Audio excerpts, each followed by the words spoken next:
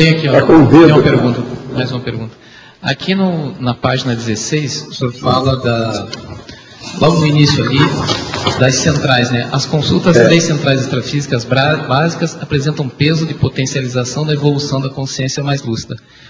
Como é que, se, como é que a gente pode fazer para acelerar esse processo desse contato? É a hora que a pessoa começa a exteriorizar mais energia interassistencial. A hora que acontece isso, ela começa a acessar primeiro a central de energia, depois vem as outras. Agora, isso tudo é através da interassistencialidade.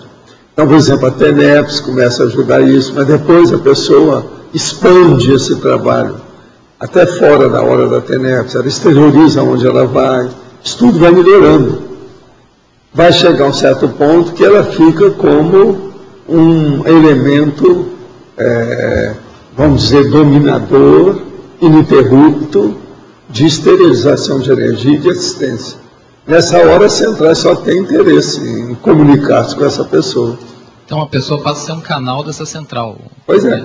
Agora, ó, há pessoas que são canais das centrais nem sabem que a central existe. É isso que eu ia perguntar. Entende? Pois é. Essas coisas existem. Então, a ignorância faz parte do serviço, entende é que é? É o jeito, é a saída.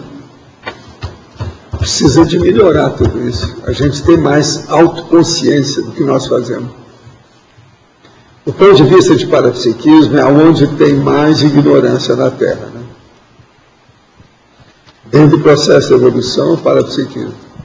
Então, as pessoas começando a terem mais autoconsciência de parapsiquismo, a, o processo de assistência amplia, ele se amplia, e a pessoa começa a ter mais noção. Então, as centrais extrafísicas de energia, cada vez mais vão ter mais serviço. A tendência é ampliar isso aí, cada vez mais. E qual é a correlação da central extrafísica das energias com as energias imanentes? Ela tem um papel também de. Ela tem, mas eles lá já sabem como canalizar isso. Né? O processo todo é a emissão do processo de energia. E a coisa toda de energia é emissão. Você receber, seja boa, seja ruim, você vai ter a, é, por você, você não vai fazer muito esforço. Agora, você ter a iniciativa de exteriorizar a energia já é outra coisa. Aí é que precisa de ter mais noção do estado vibracional, dessas coisas todas.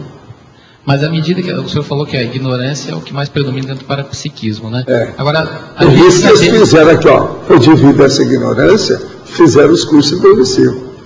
Para ver se agiliza, se queima etapas, se potencializa a evolução do povo. Agora, sabendo disso, é, dentro do processo íntimo de cada um pessoal, o processo de você evocar essa central, é, tem uma forma otimizada de se fazer isso? Como é que o senhor, por exemplo, faz? Não, eu faço no serviço. Eu não penso na central, ela ocorre. A hora que elas veem que precisa, ela vem. Aqui fica automático. Tudo é um processo de telefone vermelho, está ligado. O tempo todo. 24 horas. Tá, mas o senhor já tá, o senhor tem uma larga experiência, né? Para os mais é, Eu já tenho isso há muito tempo. Agora, eu acho que eles me permitiram ter várias experiências dessas coisas para poder mostrar para vocês. Para mostrar essa situação, como é que é e tal. Entende? Agora, eu acho que a maioria aqui ó, vai alcançar isso nesse próximo século, aí, por aí e tal. Eles vão dominar isso tudo. Esse é o caminho.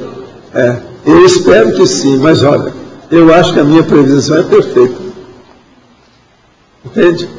Meu processo prospectivo é lógico, é racional. É dessa massa que tem que fazer isso, não são outros. Que fica? E outra coisa, trabalhando isso todo dia, vocês não têm por onde escapar. E outra coisa, a hora que se acostumar, vocês não querem voltar atrás. O bem-estar é muito maior, o conforto é mais aprazível. Você está entendendo? Então, é o processo da zona de conforto evolutiva. É o, é o parahedonismo. É o parahedonismo máximo.